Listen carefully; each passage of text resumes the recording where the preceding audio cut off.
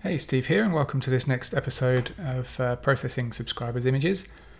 This image has been sent to me from uh, Kill, so thanks Glenys for sending this through. Um, and she has basically uh, didn't have anything specific really, uh, any specific technique to ask about, but she just wanted to send this image through and uh, ask me to turn it into something special. So I'll see what I can do in terms of that.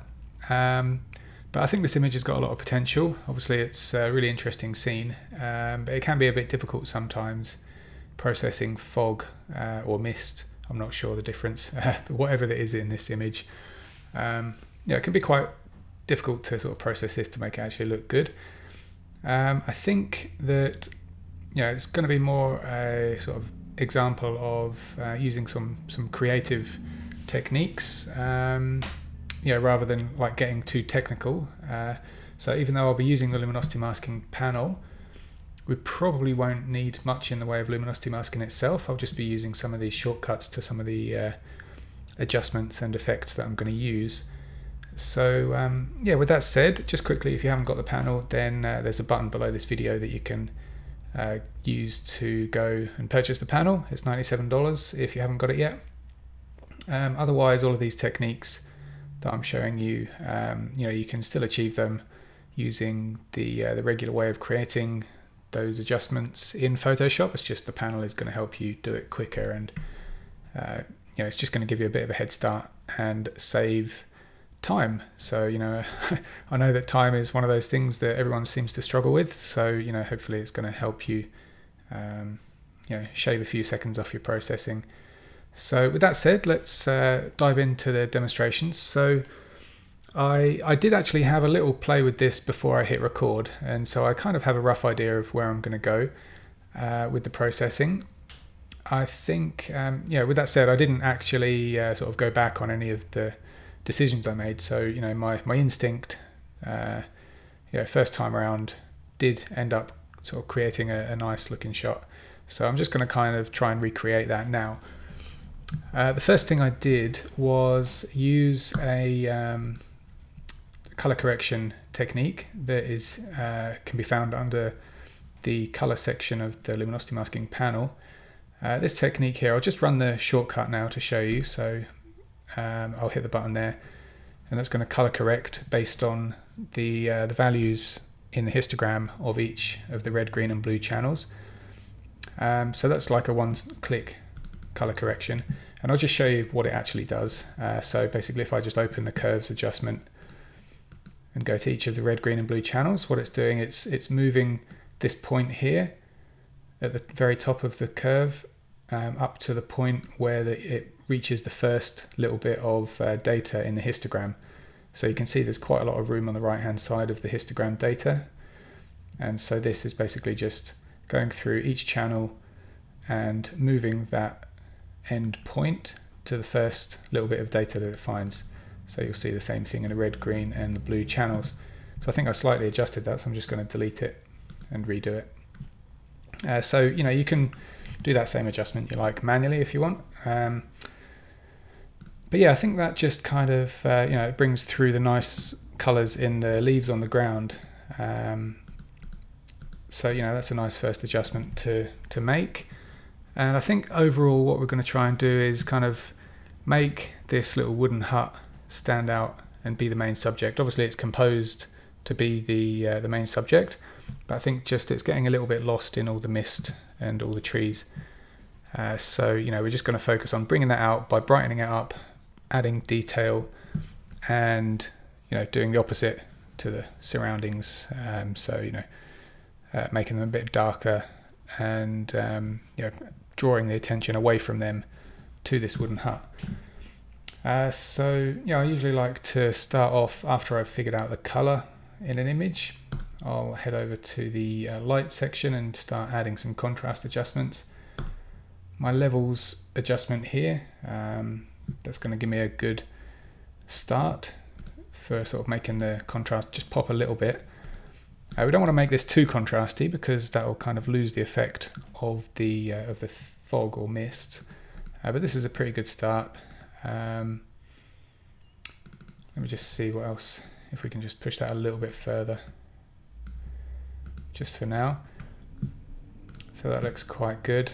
Um, the sky is getting a bit bright up here, so I think next we can maybe try to uh, sort of darken that top section of the image and we can do that using this uh, multiply button. So that's a nice technique here for making a nice dark uh, layer. And yeah that's basically creating a curves adjustment putting in multiply blend mode and changing the opacity to 50% so that's just a shortcut for that. Um, and yeah we probably don't want it in the whole image. We don't want to darken the whole thing so I'm just gonna take a black brush on about 50% opacity I'm just going to brush this effect out of the uh, foreground and probably reduce the opacity again a little bit and just remove it from these trees over here. Okay, so let's see what that is giving us. Yeah, so that's starting to kind of close in the uh, the focus around the center of the image, so by darkening the edges and leaving the middle bit brighter. Um, yeah, so basically what we're going to do now is just sort of repeat these uh, processes just gradually, step by step, uh, building up the uh, you know the brightness in the middle and darkening the edges. So uh, let's go back and add another. Uh, let's add another levels adjustment here, and this time we can yeah, we can use this just to darken the image a bit. And yeah, this time I'll invert, I'll start with an inverted mask to hide the effect. And now I'll take a white brush and just brush it in where I want this to be in the scene. So just mainly in the sky. And because of the nature of this shot, you know, I can use these big broad brush strokes without having to resort to luminosity masking to really get too detailed with them. Um, if these trees in the foreground do start to get a bit too dark, then I might need to um, I might need to use a luminosity selection just to help remove whatever effects are making them too dark. Um, you know, a bit more accurately than what I'm doing just with the big brush. But for now, I think this is going to serve us well. So let's see that now. Okay, that's already looking quite nice. I'm going to sort of go for like a bit of a darker, uh, more mysterious kind of eerie feel to this uh, to this image. So you know we're heading for a dark kind of result. Um, okay, let's let's try a bit of contrast now, specifically just picking out this this wooden hut. Uh, so let's add another levels adjustment, and I'm just gonna crank these uh, control points quite heavily just so that that's really starting to pop. Um, the rest of the image is actually looking quite interesting. Uh, it's a bit too contrasty. You know, it's taken away from that misty look and feel of the shot, but I do like what it's doing to the colours of the leaves in the foreground. So maybe we can, like if I invert the mask now, so Command or Control I, can take this white brush and kind of brush the effect in to the uh, to the hut and then kind of on a lesser degree or to a lesser degree on a lower opacity I can just brush this in a bit gradually in the leaves just to bring a bit of it through like so.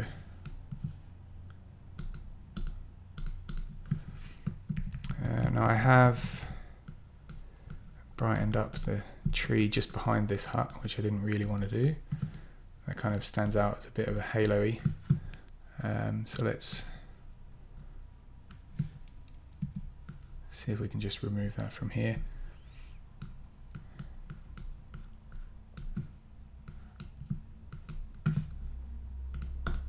Okay, that's quite effective. Alright, so I'm just zooming out and zooming in uh, because I find like when you when I'm making adjustments like this, darkening the outside and brightening the middle, it's easy to go too far and make it look like I've uh, basically just shined a torch uh, on on the main subject. So yeah, you don't necessarily see that when you're viewing the image right up close like this. Uh, it's easier to detect like halos and those kind of issues when you zoom out. for some reason I can't explain. Uh, but this is not looking too bad. I actually quite like where it's going. Um, so next I think we'll just, well there's a couple more things I want to do. One is to add a bit of a contrast vignette to further darken the edges. And two is to add a bit of detail, um, like sharpening the uh, the detail in the in the hut here. So what should we do first? Let's let's use the contrast vignette first.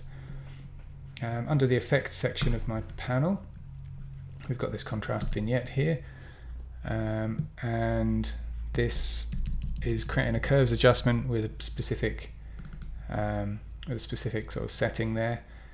Uh, with the uh, the black point here, we've kind of nudged up, and then we've darkened using a control point in the middle there. Uh, so I'm just going to bring this in. I need quite a large brush for this, I think, and on a reasonably low opacity, about 30%. I'm just going to brush in around the edges, around the top, and then just the bottom edge in the bottom right corner. Now let's see the effect that's had. Okay, again, quite subtle. Subtlety is always the best way rather than trying to do too much at once with one big edit. Um, so I quite like that. Now let's uh, let's add some detail. So we can add a, uh, a high pass filter layer. So the long way around to do that would be to go um, edit, oh no, select all, edit, copy merged, edit, paste, and then so that gives us this layer which is a copy of the entire image with all the adjustments applied. Then we can go filter, high pass, and then we can kind of increase this radius value until we see some definition in the object that we're trying to bring the definition out in. We can then click OK and then change this layers blend mode to overlay. And then we can add a layer mask invert the layer mask to black so that we're hiding this effect. And then with a white brush we can just bring it in uh, just in that area that we want to sharpen so that looks pretty good there. Now if you want to shortcut that whole process I'll just hide this layer now uh, then we can come into the finishes section of the panel. And well there's two detail enhancement uh, methods here. One is a sharpening method so this is best for small detail like sharpening uh, just general sharpening really.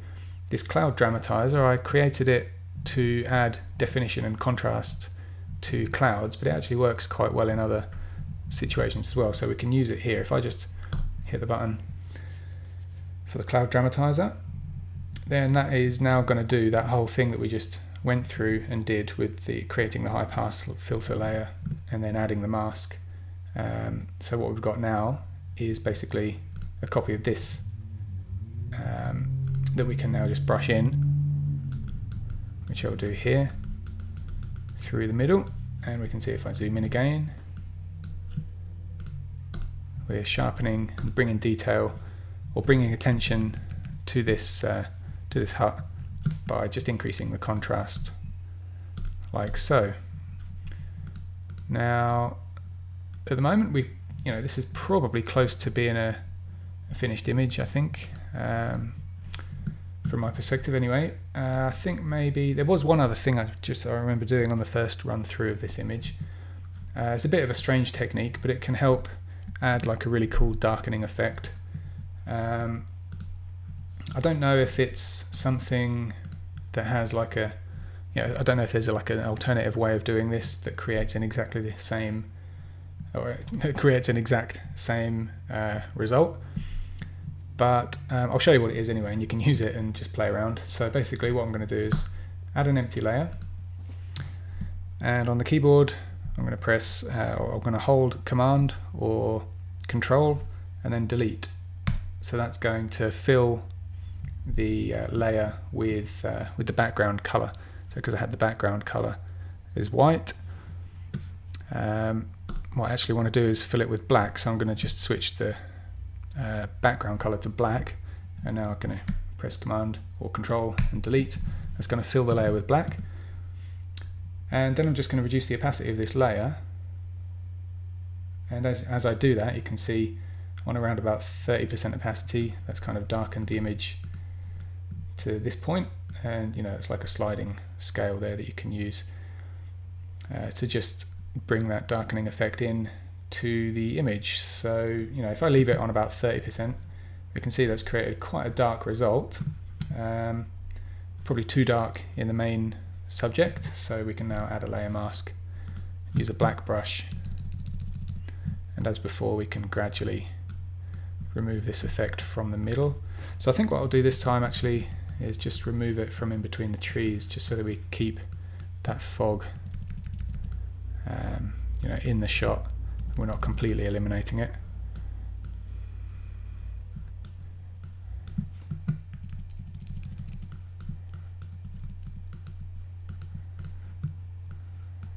And maybe a little bit of the foreground as well.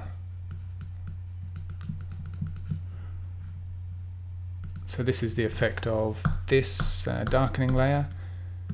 And you know, like I said, there may be another way of creating this exact same kind of dark effect, but I just quite like using the black layer. Uh, it's quite it's quite easy to do, and anything that's easy and gives a decent result has got to be good, right?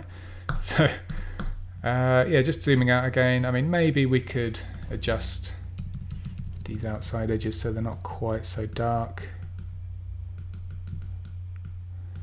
But otherwise, I think we've reached a pretty good point with this image. Now, if uh, if this happens to be too kind of saturated for your uh, liking, then we can just you know reduce the uh, saturation here just using the hue saturation slider. I don't like using this to increase saturation; it can be quite garish, but it's not bad if you just want to reduce the uh, reduce the saturation just to create a bit more of a subtle color look. Um, but either way, you know, I don't think there's a right or wrong answer there. Um, you know, I just think the colours colours are good, but they might, you know, some people might think they're a bit strong. So that's an option that you can use there just to reduce the uh, saturation. So um, yeah, I think with that said, let's let's have a look at the um, before and after. I'll just get rid of this hue saturation layer. So I'll hide all these layers that we've just added so that we can remind ourselves where we started with this image and uh, yeah and then I'll just add these back on and we can have a look at where we ended up. And yeah I think I'm, I'm pretty happy with that. That would be uh, you know that would be a shot that I'm happy with if it were my own. So um, yeah hopefully this has been a useful tutorial and uh, walkthrough for you. And like I said most of these techniques you can create just using uh, you know adjustment layers as I've done here. But the panel if you haven't got the luminosity masking panel uh, then you know these various sections under here, light, color, effects, finishes, and output for web. Uh, these can you know be used in combination with the luminosity masks that the top section helps you create. So you can create masks and then apply them immediately to these effects, um, you know, in just a couple of clicks. Or you can just use these effects and uh, whatnot to you know to basically just shortcut some of the uh, common adjustments and effects that you would normally create using these adjustment layers. So like I said, if you haven't got the panel yet, uh, click the link below this video and you can get the panel for just 97 Australian dollars. And uh, yeah, I think that probably wraps this video up. So I will bid you farewell and uh, thank you for watching and I'll speak to you next time. Cheers.